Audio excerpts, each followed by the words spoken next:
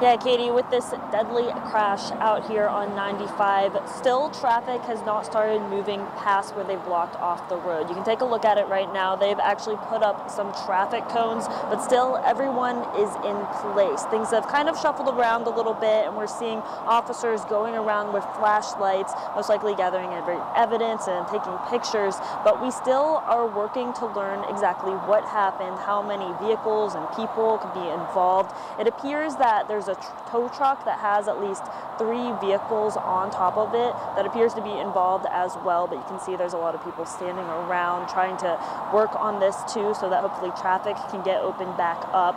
An alternate route, as Katie said, is on taking US 1. We're going to update you here as soon as traffic gets moving again and as soon as we learn more information about what exactly happened.